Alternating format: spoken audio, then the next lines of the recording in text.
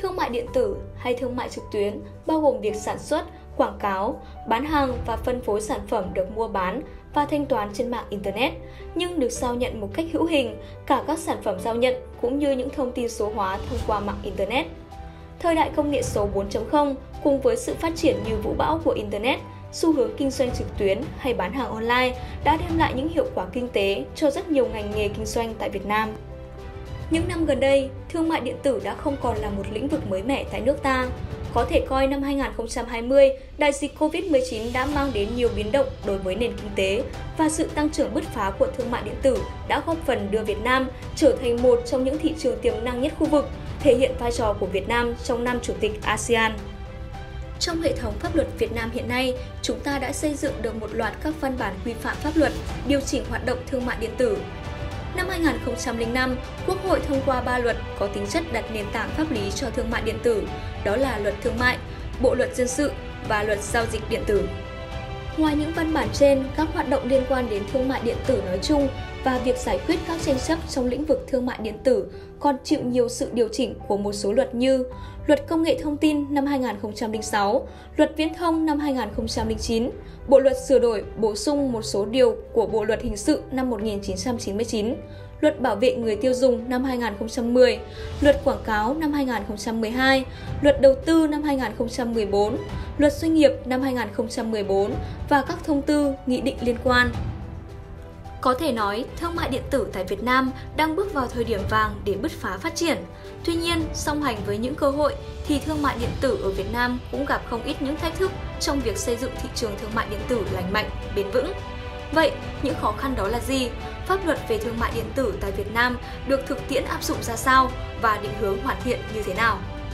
nằm trong chương trình hỗ trợ pháp lý liên ngành cho doanh nghiệp nhỏ và vừa giai đoạn 2021-2025 Bộ Tư pháp để các doanh nghiệp và những người làm công tác hỗ trợ pháp lý hiểu rõ hơn về pháp luật liên quan đến thương mại điện tử. Ngày 22 tháng 9 năm 2022, Trung tâm Hỗ trợ Pháp luật và Phát triển Nguồn Nhân lực, Hiệp hội Doanh nghiệp nhỏ và vừa Việt Nam đã tổ chức chương trình hội nghị đối thoại chuyên sâu với chủ đề tư vấn pháp luật về thương mại điện tử, thực tiễn áp dụng và định hướng hoàn thiện. Chương trình có sự phối hợp tổ chức của nhóm Cộng đồng luật Việt Nam thuộc Viện Kinh tế Công nghệ, Đoàn luật sư tỉnh Vĩnh Phúc, Hiệp hội Doanh nghiệp tỉnh Vĩnh Phúc, Trung tâm Giáo dục Nghề nghiệp Công đoàn tỉnh Bình Định. Hội nghị đã thu hút nhiều chuyên gia, giảng viên, luật sư, đại diện doanh nghiệp tham gia bằng hình thức trực tiếp và trực tuyến. Trong khuôn khổ hội nghị, nhiều vấn đề liên quan đến các chính sách về thương mại điện tử đã được các đại biểu nêu ra. Thạc sĩ Trần Văn Hiển, Phó Ban Đào tạo và hội viên Hiệp hội Doanh nghiệp nhỏ và vừa Việt Nam đã có phần trình bày trước hội nghị về những rủi ro của doanh nghiệp khi tham gia sàn thương mại điện tử, biện pháp khắc phục. À, như các anh chị đã biết thì thời gian qua à, trước cái bối cảnh à, dịch bệnh Covid đã bao trùm trên toàn thế giới thì à, ngân kinh doanh trên sàn thương mại điện tử lại là một cái điểm sáng và đột phá mang lại một cái lợi nhuận cực lớn cho nền kinh tế Việt Nam nói riêng và à, nền kinh tế thế giới nói chung. Thì dịch bệnh à, Covid đã tác động đến cái tư duy người người mua và tư duy người bán trong đó có doanh nghiệp và có cả người tiêu dùng. Và theo số liệu của ngân hàng nhà nước ấy, thì ở quý 1 năm 2021 thì giao dịch trên nền tảng số. Đó là đạt là 156 triệu món hàng nghĩa là 156 giao dịch được thực hiện. Và doanh mang đến là 8,1 tỷ triệu USD một cái con số cực lớn đúng không ạ? Và chỉ có trong quý 1 đấy, quý 1 năm 2021 thôi. Đấy. Thì vì thế cái tầm quan trọng của của uh, giao dịch uh, qua sàn thương mại điện tử cực lớn và chính vì thế và có những cái rủi ro sinh ra từ cái giao dịch đó. Thì à, bài của tôi là có bốn phần như trên nào như các anh chị được biết. Thì về à, sự ra đời của sàn thương mại điện tử thì một số à, nhà kinh tế họ định nghĩa thế này giao dịch thương mại điện tử là những việc mà tiến hành hoạt động thương mại điện tử thông qua phương tiện điện tử. Đấy, phương tiện điện tử thì rất là rộng đúng không ạ? Và từ năm 1844 thì bức điện đầu tiên đã được gửi đi. À, được gửi đi. Và họ xem như đó là một cái phương tiện điện tử à, trao đổi hàng hóa đầu tiên. Đến năm 1970 thì sự ra đời của công nghệ trao đổi dữ liệu và trao đổi tiền điện tử. Năm 1980 thì thẻ tín dụng máy rút tiền tự động và giao dịch ngân hàng thông qua điện thoại được bắt đầu. Mãi cho đến năm 1995 thì tập đoàn Amazon cũng như là eBay đã ra đời. Và đây là hai doanh nghiệp tiên phong đầu tiên trong thương mại điện tử và họ hoạt động đến bây giờ cực kỳ thành công và gần như là anh chị nào cũng biết đến cái này, đúng không ạ? Về à, thị phần thương mại điện tử tại Việt Nam thì như trên hình các các chị nhìn thấy, hiện tại bây giờ là với sàn thương mại điện tử Shopee là chiếm 72% trên tổng số à, thương mại điện tử tại Việt Nam và Lazada thì chiếm Lazada là chiếm là 20,9% còn lại là Tiki và sen sen đỏ và một số cái sàn nhỏ nữa là chiếm chỉ 7,4% thôi. Doanh thu của Shopee năm 2021 đạt 21 tỷ USD và Lazada là đạt 9,95 tỷ USD một con số rất lớn đúng không à, với à, thương mại điện tử thì hiện tại có 6 cái mô hình.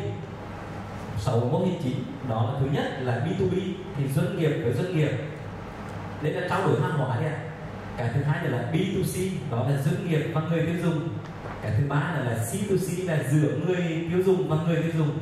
Cái thứ tư nữa là C2B nghĩa là giữa người tiêu dùng và doanh nghiệp. Thứ năm nữa là B2 B2E B2E là B2E đấy nghĩa là giữa doanh nghiệp và người lao động.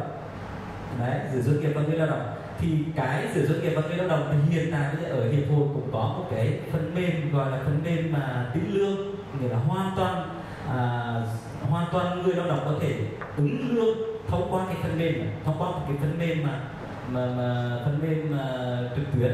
Đấy. Cái thứ sáu là, là chính phủ điện tử. Thì trong chính phủ điện tử à, là cái uh, government thì uh, git uh, to c và git uh, to b thì cái này cả cái doanh nghiệp mà khi tham gia uh, thực hiện cả cái thanh toán về về về, về tổng thông tin của chính phủ ấy ví dụ cả cái khoản phí đấy là cả cái giao dịch giữa giữa doanh nghiệp hoặc là giữa người dân với chính phủ điện tử.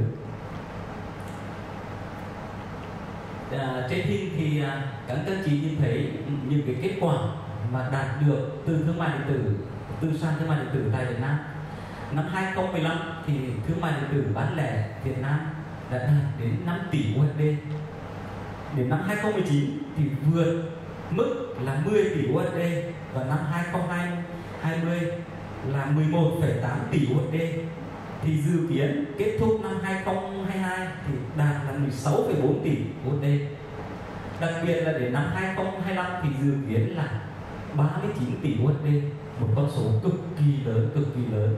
Và chính vì cái cái cái cái, cái kết quả này gần như chúng ta nhìn thấy được rằng là cái kinh doanh về về mảng kinh doanh về uh, thương mại điện tử gần như đang áp đảo đến các kỳ kinh doanh truyền thống đúng không ạ? Vậy thì có những cái rủi ro gì? Thì uh, tôi đã vạch ra và nghiên cứu được bốn à được tám cái rủi ro mà hiện tại các cái doanh nghiệp cũng như là người tiêu dùng sẽ vướng phải. Một là bị phụ thuộc vào sàn thương mại điện tử.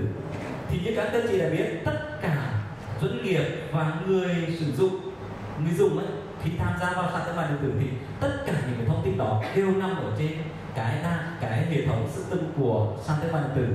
Từ thông tin à, người dùng từ thông tin các sản phẩm. Đấy tất và kể cả thông tin của khách hàng của chính doanh nghiệp và của chính à, doanh nghiệp hoạt động trên cái sàn đó. Nhưng tất cả những cái quy định mà sàn quy định ra là áp dụng cho tất cả các đối tượng thì cái việc mà vi phạm những cái quy định đó thì sàn họ chủ động họ họ thực hiện. Bởi vì không phải sàn nào có quy định riêng à, giống nhau. Mỗi sàn có những cái quy định khác nhau. Đấy quy định khác nhau thì khi mà một cuộc chơi do sang quyết định thì đương nhiên rằng là cả cái doanh nghiệp cũng như cả cái khách hàng mà tham gia vào sàn đó là phải phụ thuộc vào cái sàn đó. Và có thể nếu những vi phạm thì hoàn toàn sản phẩm thông tin người dùng và khách hàng hoàn toàn có thể biến mất trên sàn đó. Chỉ cần cái kích thúc của của, của sàn thương mại điện tử đúng không ạ? Cái thứ hai là, lời lợi nhuận thấp về cái lợi nhuận thì lúc này là à, tiến à, luật sư Hà à, luật luật sư Đinh Nhân còn nói là giảm mà chi phí đúng là giảm chi phí. Tuy nhiên ấy, nó có một điều là gì? Đối với so với ngân là kinh doanh là, truyền thống thì nó giảm. Nhưng mà nó cũng sinh ra những cái à, cái, cái cái phí dịch vụ. Ví dụ như là các cái sản phẩm của uh, của của doanh nghiệp bán trên đó là phải chi phí hoa hồng. Đấy chi phí hoa hồng. Thì cái việc chi phí hoa hồng nó sẽ làm cho sản phẩm của doanh nghiệp được nâng lên. Và nâng lên đương nhiên là tăng chi phí cho cho doanh nghiệp.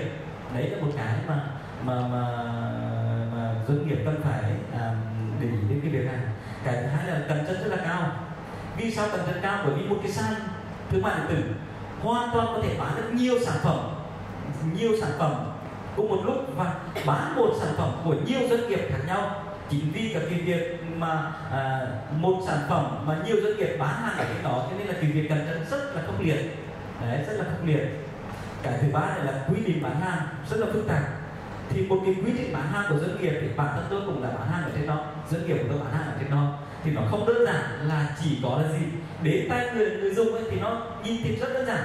Nhưng mà thực sự để thực hiện được một cái quy trình đó nó cũng phải mất mấy ngày này từ nhà là cung cấp vận chuyển đến vận chuyển đến kho của cái sàn thương mại điện tử đó. À, từ sàn thương mại điện tử đó họ tiếp tục vận chuyển đến vận chuyển đến à, người tiêu dùng thì cũng mất một, cả một quá trình. Đặc biệt đấy thì cái đơn vị mà vận chuyển ấy, đơn vị logistics cũng rất quan trọng. Theo quy định là cái sản phẩm đó được lưu chuyển từ nhà cung cấp đến khách hàng mất được khoảng một ngày.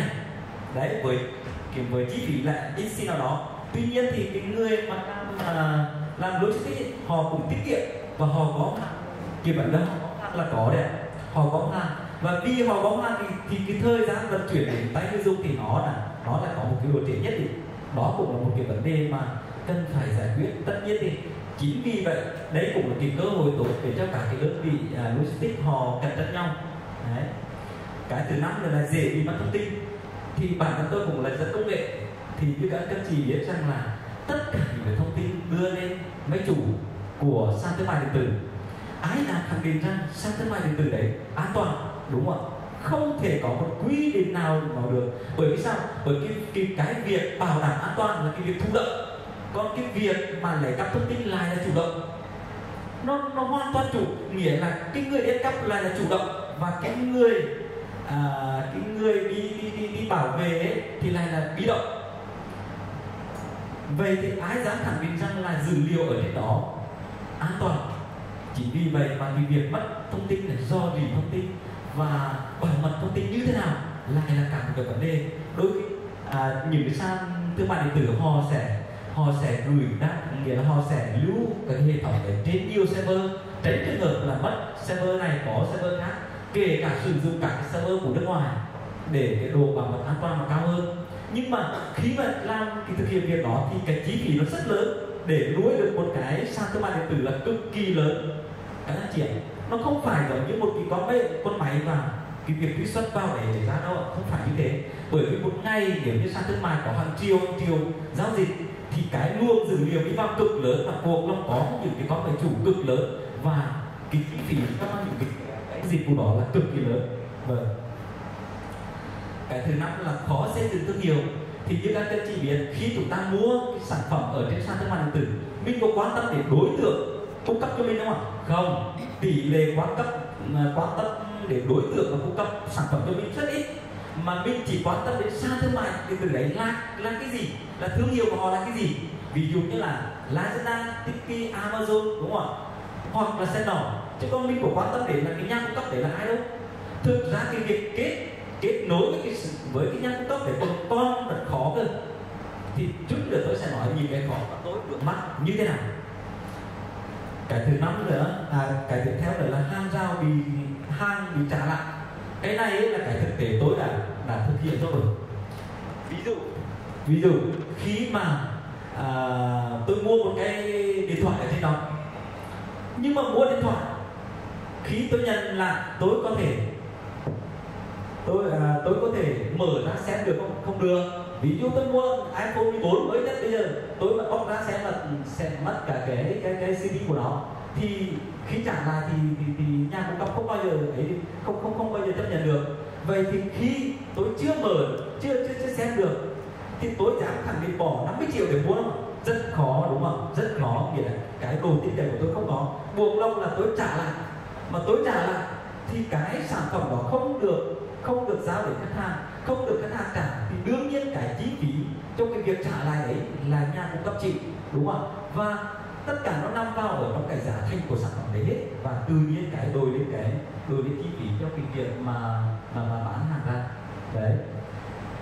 À, về cái về cái việc này ấy, thì, thì chút nữa tôi sẽ chia sẻ thực tế và tối đa tôi đã, đã, đã gặp như thế nào. Cái cuối cùng đó là dễ bị phạt từ sàn thì mỗi sàn nó có một quy định về cái việc đóng gói này về cái việc vận chuyển này về cái việc thời gian giao hàng như thế nào. Cho nên nếu giả sử như nhà cung cấp nghĩa doanh nghiệp đấy mà tham gia vào việc bán hàng đấy mà chậm hoặc là bán hàng uh, khi mà, mà, mà bán hàng nhưng mà đóng gói không đúng quy cách thì cũng bị phạt. Và cái việc phạt này ấy, là các sàn ấy, người ta đóng chấm điểm. Nếu như một cái một cái điểm mà bị phạt ấy nó đạt được cái mức là người ta block ngay cả cái sản phẩm của mình ra luôn. Kể cả cao nhất đó là người ta loại ngay cả cái doanh nghiệp của mình trên sàn. Và không bao giờ mình mình bắt cái một một lượng khách hàng lớn ở trên đó mà mình đã xây dựng tư tưởng thế này. Vâng. Cùng với sự phát triển của khoa học công nghệ, thương mại điện tử trở thành lĩnh vực kinh tế quan trọng tại nhiều quốc gia bởi sự ưu việt của nó như tiết kiệm thời gian, giao dịch thuận tiện và chi phí được tối ưu. Do đây là lĩnh vực còn khá mới đối với Việt Nam, vì vậy công tác quản lý nói chung đang gặp không ít khó khăn, đặc biệt là công tác quản lý thuế đối với thương mại điện tử. Như vậy là tất cả các chính sách chính sách thuế thì em sẽ xin phép tóm lược trên cái cái một cái slide này. À, còn cái nội dung chi tiết cụ thể thì thì nó cũng đã nằm trong tài liệu. Thì um, chúng ta được hiểu nôm na là mọi một tổ chức, một cá nhân khi mà hoạt động kinh doanh tại uh, lãnh thổ Việt Nam. Và à, tổ chức cá nhân có hoạt động kinh doanh ở nước ngoài cũng đều phải à, à, cũng cũng đều có phải phải phải phải um, nộp các khoản thuế. Thì những cái khoản thuế mà thông thường à, thường thường áp dụng thì như là thuế giá trị gia tăng thuế thu nhập doanh nghiệp thuế thu nhập cá nhân. Còn thuế nhà thầu á, thuế nhà thầu thì mình được hiểu là các tổ chức nước ngoài không có hiện diện, có hoạt động doanh thu phát sinh tại Việt Nam, tổ chức cá nhân ở nước ngoài, có hoạt động doanh thu phát sinh tại Việt Nam, mà không không có văn phòng, không có văn phòng đại diện, không có đăng ký văn phòng tại Việt Nam. Thì buộc, thì có một cái um, chính sách thuế quản lý chế tài riêng đó gọi là thuế nhà thầu. Thuế nhà thầu thì những đơn vị sử dụng những cái dịch vụ của nước ngoài thì phải uh, thay uh, những cái đơn vị nước ngoài để khai cái thuế nhà thầu này thì trong cái thuế nhà thầu này nó liên quan tới nếu là tổ chức thì cũng là thuế giá trị gia tăng và thuế thu nhập nghiệp. Liên quan tới thuế ừ, cá nhân thì cũng là thuế thu nhập cá nhân và thuế giá trị gia tăng. Um, về những cái hạn chế à, đi sâu vào những cái uh, chi tiết về những cái uh, chính sách thuế thì trong phần tài liệu các anh chị uh, vui lòng tóm lược giúp em ha tại vì thời gian nó cũng không nó cũng không đủ thì em chỉ chia sẻ sơ về mặt thực tế mà trong quá trình mình mình vận dụng mình và mình tư vấn cho doanh nghiệp về chính sách thuế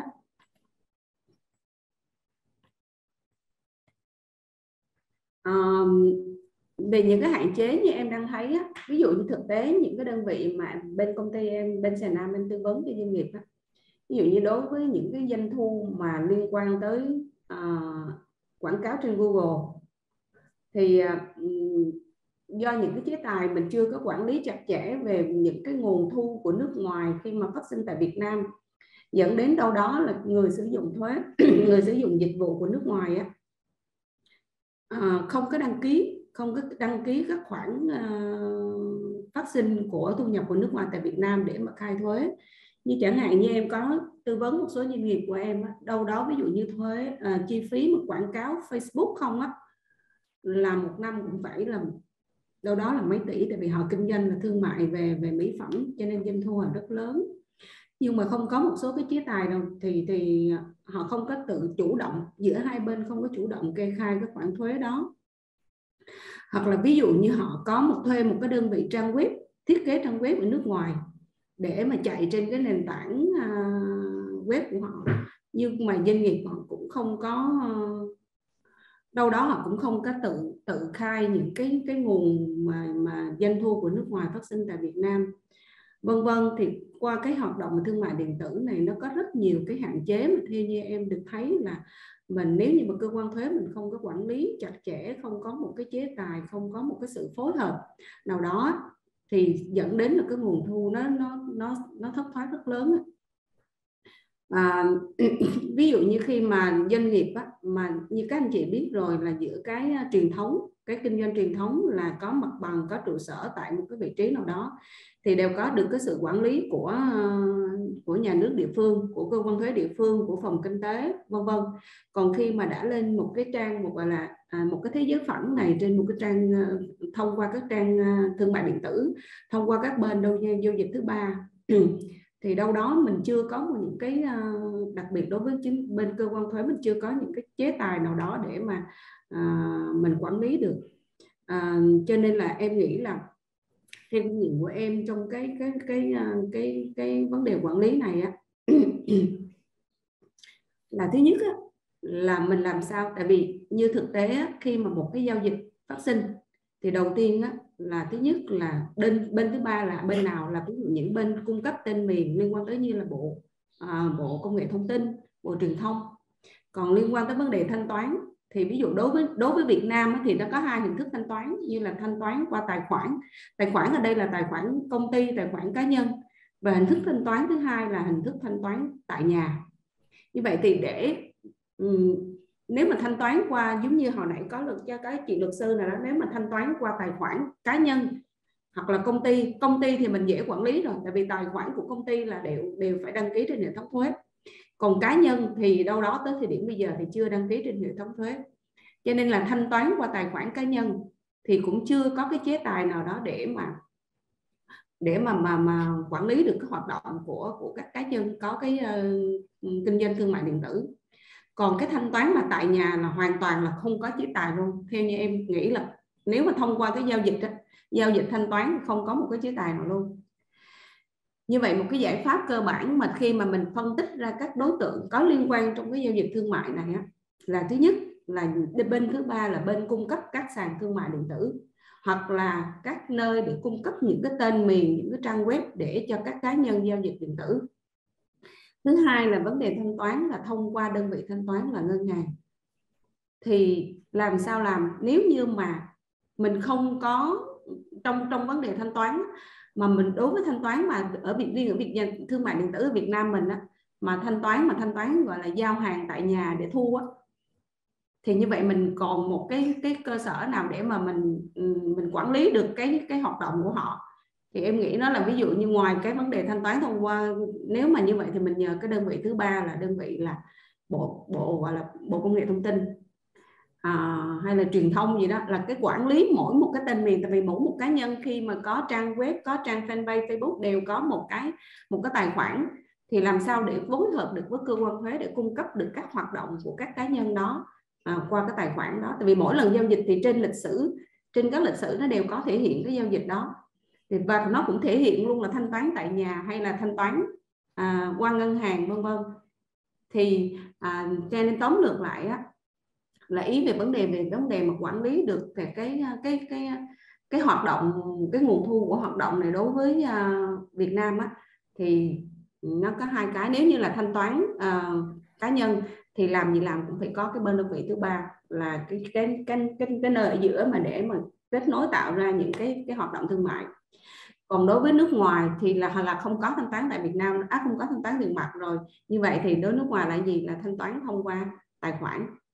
Thì câu chuyện là như vậy. Câu chuyện cuối cùng là gì? Là làm sao cơ quan thuế phối hợp với lại ngân hàng các cơ quan như là ngân hàng để xem được những cái hình thức thanh toán dòng dòng tiền ra vào của các cá nhân hoặc là của tổ chức liên quan tới hoạt động à, thương mại đó còn về độ độ để mà gọi làm đối với cơ quan nhà nước thì làm sao là mình để trao dồi thêm về vấn đề thanh kiểm tra à, nâng cao thêm cái, cái nghiệp vụ chuyên môn. Tại vì ví dụ khi mà các một cán bộ thanh kiểm tra một đơn vị mà đặc biệt những cái đơn vị mà sàn thương mại điện tử hoặc là có hoạt động mà thương mại điện tử là họ biết à, dụng vận dụng những cái công nghệ nào các hình thức mà để mình tra cứu cái thông tin nó như thế nào.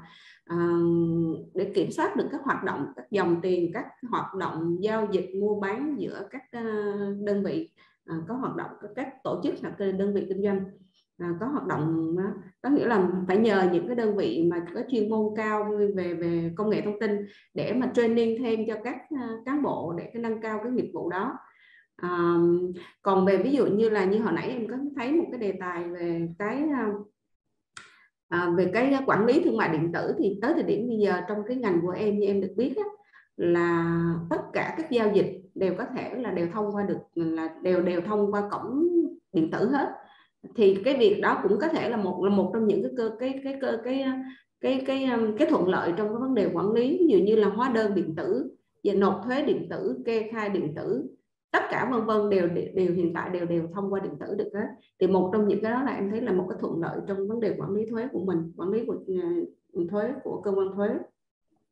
Mình mình chỉ còn là phối làm sao để mà gọi là phối hợp được với các ờ, cơ quan ban ngành à, để mà gọi là nhịp nhàng với nhau để quản lý được cái việc mà thứ nhất là giao dịch giữa các bên mua bán với nhau.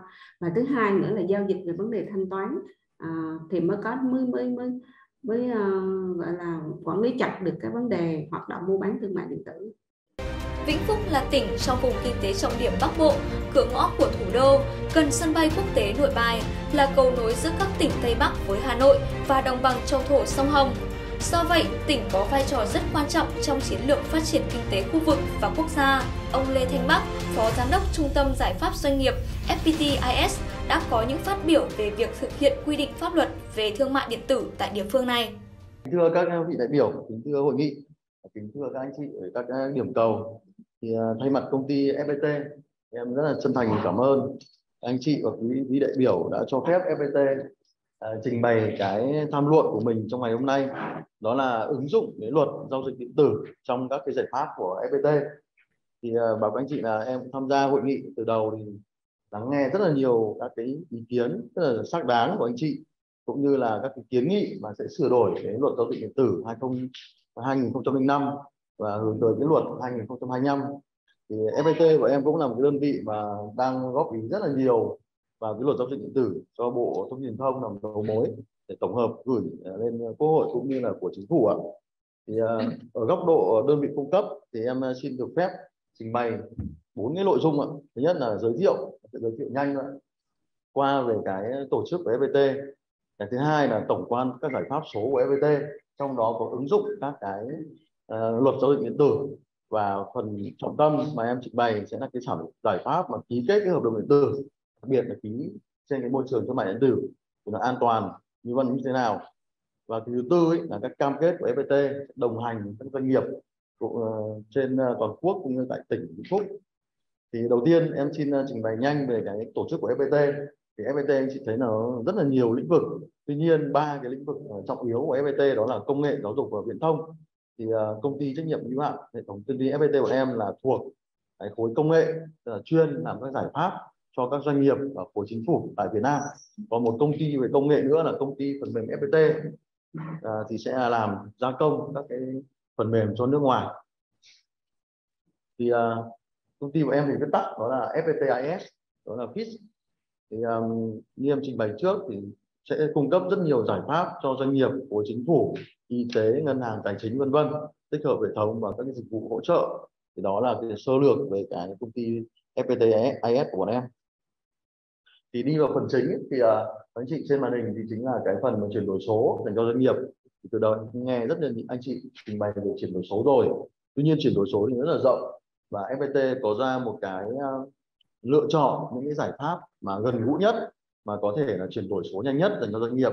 Bên em gọi gọi là start, smart start, tức là khởi động, chuyển đổi số thông minh. Thì ở đây sẽ là bao gồm những cái giải pháp mà nó nằm ở vòng tròn thứ hai ấy, thì nó sẽ đảm bảo kinh doanh liên tục. Cái vòng tròn thứ hai chính là cái, các cái ứng dụng chức năng mà sẽ nằm ở trên cái vòng tròn thứ hai. Vòng tròn đầu tiên thì nó liên quan đến ờ, tối ưu hóa quy trình và vòng tròn thứ ba thì liên quan đến cái việc trải nghiệm người dùng ví dụ như AI, chatbot, tổng đài tự động, inner link hay là những cái xác thực. Thì vòng tròn thứ hai thì em sẽ trình bày cụ thể vào cái giải pháp là FPT contract còn những cái giải pháp khác như là e-invoice hóa đơn điện tử hay là kê khai thuế điện tử vân vân. Và vậy em thấy cũng có một bài tham luận về thuế điện tử ấy, thì à, em xin phép không được trình bày không trình nó rất là tốn kém. Tuy nhiên là những cái sản phẩm của FPT hiện nay ấy, thì sẽ là triển khai trên môi trường cloud tức là khi một doanh nghiệp có nhu cầu sử dụng thì chỉ việc là tạo tài khoản và sử dụng. Thì cái quá trình triển khai thì nó rất là nhanh, mất vài tiếng là có thể sử dụng rồi. Và cái chi phí thì rất là tiết kiệm. Thì là tính theo giao dịch, tức là dùng bao nhiêu thì tính tiền bấy nhiêu. À, và các cái giải pháp này đều là triển khai nhanh chóng và nó là một công cụ làm việc ở mọi lúc mọi nơi. Ờ, đăng nhập vào trình duyệt web cái là sử dụng được ngay, chứ không phải là đến công ty mới làm việc được. Thì đấy là cái phương pháp luận và xây dựng của FPT thì em ờ, đi vào phần chính là phần ờ, giải pháp hợp đồng điện tử. Thì em sẽ trình bày nhanh các bạn. À, hợp đồng điện tử theo luật thì nó sẽ là những cái tài liệu mà hai bên tham gia ký kết và đặc biệt là sẽ được ký kết bằng cái chữ ký điện tử. Thì như vừa nãy em cũng nghe bài thảo luận chữ ký điện tử rất là rộng. À, theo luật giao dịch điện tử chữ ký điện tử là được tạo lập bằng dạng từ chữ ký số ký hiệu ảnh bất cứ cái gì mà đại diện cho một cá nhân thì gọi là chữ ký điện tử. Tuy nhiên nếu mà chữ ký điện tử mà có thể xác thực được ấy, thì báo anh chị là hiện tại thì chúng ta chỉ có cái nghị định số 130 là quy định về cái chữ ký điện tử à, là chữ ký số thì có thể là xác thực được. Thì chữ ký số thì anh chị là chắc là anh chị cũng đều đã đã đã đã, đã cũng biết rồi. Và từ 2011 thì là bộ tài chính thuế đã triển khai cái chữ điện tử mà 100% các doanh nghiệp đều được sử dụng. Thì em tin là cái chữ điện tử nó không còn à, à chữ ký số nó không còn mới đối với doanh nghiệp nữa. Thì về à, chữ ký số thì em tin là là là tất cả anh chị đây đều đã biết chữ ký số rồi. Thì chữ ký số là một cái à, thiết bị USB token đúng không ạ? Mà sẽ được các đơn vị mà được bộ thông tin truyền thông cấp phép và cung cấp cho các doanh nghiệp. Hiện nay phổ biến là ở các doanh nghiệp bởi vì 100% các doanh nghiệp đều phải có chữ ký số để mà thực hiện kê khai thuế kê khai bảo hiểm hải quan vân vân. À, chắc chắn là có rồi. Tuy nhiên cái hình thức chữ ký số đó thì nó sẽ được lưu trữ ở trong một cái USB token. Và như vậy vô hình chung là muốn ký gì là chúng ta phải cầm theo cái token cầm theo cái USB à, muốn ký gì cắm vào cái laptop thì nó rất bất tiện. Và năm vừa rồi tháng 8 thì à, à, uh, uh, FPT cũng đã được bộ thông truyền thông cấp phép một cái giải pháp chữ ký số mới đó là chữ ký số trực tuyến chữ ký số e-sign cloud. Ờ, nó chỉ thay đổi hình thức thôi ạ. Trước đây là chữ ký số uh, truyền thống là sẽ được lưu trữ ở một cái USB token hoặc một cái thiết bị bảo mật HNM còn bây giờ sẽ được lưu trữ tại FPT tại FPT Cloud.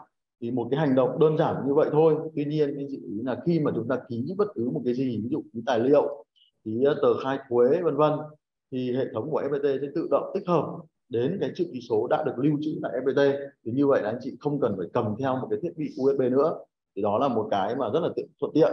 Đồng thời cái việc cấp chứng thư số đó thì cũng bộ thông tin thông cũng đang hoàn thiện các cái quy định để mà cấp ra ví dụ cấp qua định danh điện tử qua OTP, SNS vân vân. Và chúng ta không cần phải đến trực tiếp ờ, để có thể cấp được cái chữ số đó. Thì tất cả những hành lang pháp lý đấy thì sẽ hướng tới một cái là 100% người dân sẽ sử dụng cái chữ ký số để trong các cái giao dịch điện tử của mình. Thì đấy là một cái tiền đề rất lớn để chúng ta có thể triển khai các giải pháp mà ký kết điện tử trên cái môi trường à, hợp đồng thương mại.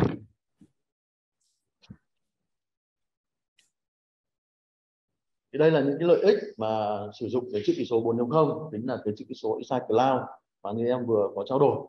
Thì nó sẽ đảm bảo thay thế bằng token và rất nhiều đơn vị mà đã sử dụng cái chữ ký số cloud của FPT trong đó nổi bật nhất là ngành uh, ngân hàng.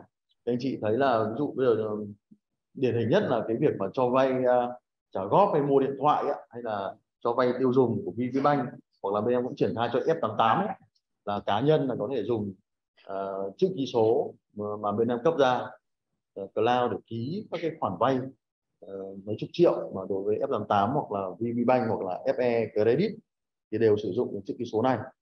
Thì nó đảm bảo thì uh, chữ ký số thì em có trao đổi khác chữ ký điện tử nó là một phần chữ ký điện tử nhưng chữ ký số đảm bảo hai tính mà như anh chị luật sư với anh băn khoăn ấy, tức là chữ ký số để đảm bảo được là tính toàn vẹn dữ liệu.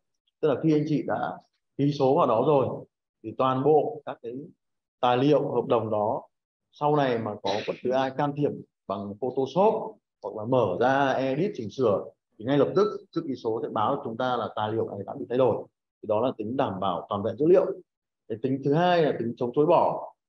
Cái tính chống chối bỏ của chữ ký số tức là khi mà bộ thông tin thông ủy quyền cho các đơn vị như FPT, Viettel, VNPT vân vân cấp cái chữ ký số cho anh chị rồi thì anh chị mà dùng cái chữ ký số đó để ký thì mình không thể nào sau này từ chối bỏ cái trách nhiệm của mình được. Không thể nói là lúc đấy tôi không ký hay là tôi bị bắt cóc vân vân thì đấy là cần đấy là tính chống chối bỏ. Thì như vậy cái cái, cái đặc tính của chữ ký số là có hai tính tính chống chối bỏ và tính bảo toàn dữ liệu.